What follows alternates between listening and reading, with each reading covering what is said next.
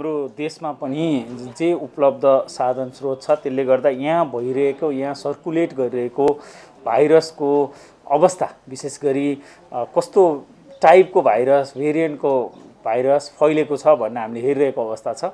विशेष गरी हामीले जनवरीमा अथवा पुस महिनाको अन्तिमतिर चाहिँ हाम्रोमा बेलायती भेरिएन्ट हाम्रोमा पनि सर्कुलेट भएको तथ्याङ्क भेटियो र चैतसम्म आउँदा त्यो भेरिएन्ट चाहिँ हाम्रो कुल सङ्क्रमितको दुई तिहाईसम्म चाहिँ यो युकेमा सुरुमा पत्ता लागेको बी दशमलव एक दशमलव सात भन्ने भेरिएन्ट फैलिरहेको हामीले तथ्याङ्क सार्वजनिक गरेकै थियौँ।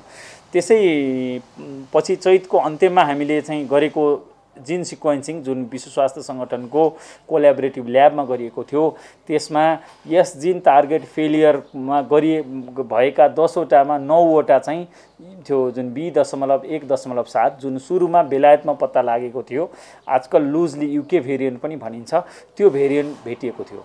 त्यसै गरी त्यही बेलामा पोजिटिभ मध्येको एकजनामा चाहिँ भारतमा भेटिएको जस्तै बी दशमलव एक दशमलव छ एक सात भेटिएको थियो। त्यसलाई त्यो बेलामा डबल म्युटेन्ट पनि भनिन्थ्यो। जुन त्यो बेला विश्व स्वास्थ्य सङ्गठनले चर्चाको अथवा महत्त्वको भेरिएन्ट हो भन्न सकेको थिएन। गत दस मेमा आएर भारतमा गरिएका अध्ययनहरू र विश्वव्यापी रूपमा तिसभन्दा बढी देशहरूमा फैलिसकेपछि यो बी दशमलव एक दशमलव छ एक सात चाहिँ विश्वव्यापी भेरिएन्ट अफ कन्सर्न भयो। त्यो हिसाबले अहिलेसम्म विश्वव्यापी रूपमा चाहिँ चारवटा भेरिएन्ट अफ कन्सर्न छन्। एउटा भेरिएन्ट अफ कन्सर्न सुरुमा बेलायतमा पत्ता लागेको बी दशमलव एक दशमलव एक दशमलव सात त्यसपछि साउथ अफ्रिकामा पत्ता लागेको बी दशमलव एक दशमलव तिन पाँच एक जुन बयासीभन्दा बढी मुलुकमा फैलिसकेको छ। बेलायतमा पत्ता लागेको एक सय तिसभन्दा बढी मुलुकमा फैलिएको छ। त्यसपछि ब्राजिलमा पत्ता लागेको पी दशमलव एक तेस्रो भेरिएन्ट हो भने भारतमा सुरुमा पत्ता लागेको भेरिएन्ट बी दशमलव एक दशमलव छ एक सात त्यसको डट दुई लिनिएज भएको हाम्रोमा हिजो हामीले सार्वजनिक गरेको तथ्याङ्कमा के हो भने पैँतिसवटाको हामीले सिक्वेन्सिङ गर्दा यस जिन पोजिटिभहरू गर्दा चौतिसवटामा चाहिँ यो बी दशमलव एक दशमलव छ एक सात दशमलव दुई लिनिएज भेटियो। एउटामा चाहिँ बी दशमलव एक दशमलव छ एक सात दशमलव एक लिनिएज भेटियो। त्यसले के बुझिन्छ भने यो देशका विभिन्न भागबाट पूर्वदेखि पश्चिमसम्म पहाडदेखि तराईसम्म सबैतिरको मिलाएर रिप्रेजेन्टेटिभ स्याम्पल थियो नमुना थियो। अर्को कुरा छ वर्षदेखि बयासी वर्ष उमेर समूहका व्यक्तिहरूको थियो। यसले चाहिँ हामी चैतदेखि जुन हामी सङ्क्रमण विगत चार पाँच हप्तामा जसरी हामी सङ्क्रमण उच्च दरमा बढेको छौँ र हाम्रो छिमेकी मित्र राष्ट्र भारतमा पनि जसरी सङ्क्रमण फैलिएको छ यो भेरिएन्ट चाहिँ भारतमा पनि अहिले सबैभन्दा प्रिडोमिनेन्ट भेरिएन्ट भनिन्छ। अन्य देशहरूमा बेलायत अमेरिका लगायत अन्य तिसभन्दा बढी मुलुकमा पुगिसकेको छ र हाम्रोमा पनि यो अहिलेको लहरमा चाहिँ जसरी सङ्क्रमण बढ्नुमा यो भेरिएन्ट जिम्मेवार छ भन्ने चाहिँ स्पष्ट भएको छ। विशेष गरी अब संसारमा भएका भेरिएन्टहरूमध्ये वाइल्ड कोरोना भाइरस बेलायतमा पत्ता लागेको कोरोना भाइरस र सुरुमा भारतमा पत्ता लागेको छ सय सत्र दशमलव एक चाहिँ हाम्रोमा पनि छ भन्ने चाहिँ स्पष्ट भयो।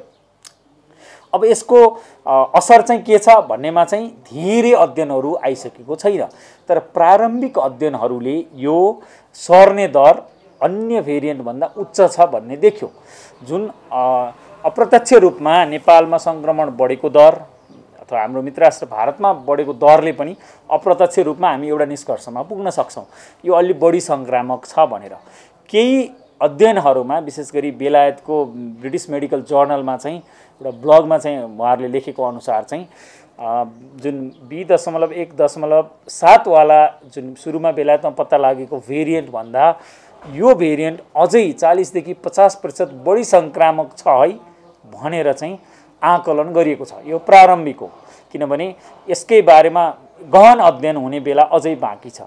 तर हामीले पाएको तथ्याङ्क अनुसार जसरी भारतमा सङ्क्रमण फैलियो जसरी अस्पताल सैया अक्सिजनको अभाव भयो र जस्तो स्थिति हाम्रोमा पनि रह्यो सबै उमेर समूहलाई असर गर्यो। साना बालबालिकादेखि वृद्ध वृद्धासम्म र अस्पताल भर्ना हुने अक्सिजन चाहिने जटिलता हुने दर चाहिँ तुलनात्मक रूपमा बढी भएको देखियो। त्यो हिसाबले चाहिँ हामीले यसलाई यो भेरिएन्टलाई चाहिँ भेरिएन्ट अफ कन्सर्न हामीलाई असर गरेको हिसाबले बुझ्छौँ र यो हाम्रो देशको सबै भागमा फैलिसकेको चाहिँ स्पष्ट भयो। अहिलेको तथ्याङ्कले हाम्रोमा सबैभन्दा बढी सङ्क्रमितहरू कामकाजी उमेरका घर बाहिर रहने जनसङ्ख्या धेरै छन्। काठमाडौँ उपत्यकामा विद्यार्थीहरू ब्याङ्कका कर्मचारीहरू सुरक्षा गार्डहरू लगायतका धेरै सेवा स्वास्थ्यकर्मीहरू धेरै सङ्क्रमित पेसामा पर्नुहुन्छ। र उमेर समूह हेर्ने भने बिसदेखि चौवालिस वर्ष समूहमा उच्च दरमा सङ्क्रमण छ बढी छ। सङ्क्रमणको मुख्य हिस्सा यो उमेर समूहमा छ। त्यो हिसाबले र हाम्रा अन्य देशहरूको प्रारम्भिक नतिजाहरूले के देखाउँछ भने यो गत वर्ष गराउने वेल कोरोना भाइरसभन्दा फरक यसमा के छ भने यसले तपाईँको उमेर समूहको हिसाबले बलिया मानिएका उमेर समूहमा पनि बढी नै असर गर्छ जटिलता ल्याउँछ कुनै पनि उमेरलाई यसले छोड्दैन भन्ने चाहिँ अप्रत्यक्ष रूपमा देखिन्छ। अहिलेको प्रारम्भिक आकलन त्यही नै हो। जुन हामी भोगिरहेका छौँ होइन? हाम्रो यङ युवाहरूको मृत्यु पनि भएको छ युवाहरूलाई अक्सिजन चाहिएर अस्पताल भर्राउनु पनि परेको छ। जुन अघिल्लो लहरभन्दा तुलनात्मक रूपमा फरक छ। हाम्रो देशको कुल जनसङ्ख्याको करिब करिब आठ प्रतिशत जतिले एक डोज भए पनि खोप लगाएको तथ्याङ्क छ। र करिब करिब दुईभन्दा तल प्रतिशतले चाहिँ दुई डोज नै पुरा पाएको अवस्था छ। अहिलेका प्रारम्भिक आकलनहरूले हाम्रोमा धेरै चलेको कोभिसिल्ड भन्ने जुन अस्ट्राजेनिका अक्सफोर्डको चाहिँ ले उत्पादन गरेको खोप छ त्यो खोप तुलनात्मक हिसाबले यो भेरिएन्टमा पनि जटिलता कम गर्न र तपाईँको मृत्यु दर कम गराउन यो पनि सहयोगी छ नै भनेको छ भनेको प्रभावकारी छ भन्ने बुझिन्छ। अहिले हाम्रा मृत्यु भएका अथवा बिरामी हुनेमा केही खोप लगाएका पनि हुनुहुन्छ केही एक डोज लगाएका पनि हुनुहुन्छ। कुनै पनि खोप शत प्रतिशत हुँदैन यो खोप पनि छैन। र यो भेरिएन्टको हकमा पनि तुलनात्मक रूपले प्रभावकारिता चाहिँ सकारात्मक नै देखिएको छ भन्नाको मतलब राम्रै प्रभावकारिता देखिएको छ। विशेष गरी भारतका अध्ययनहरूले पनि भ्याक्सिनेटेड पपुलेसनमा कम देखिएको छ।